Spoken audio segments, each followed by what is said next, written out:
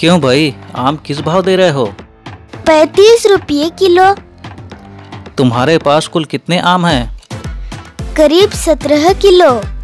ऐसा करो सारे आम मुझे दे दो। नहीं दूँगा साहब।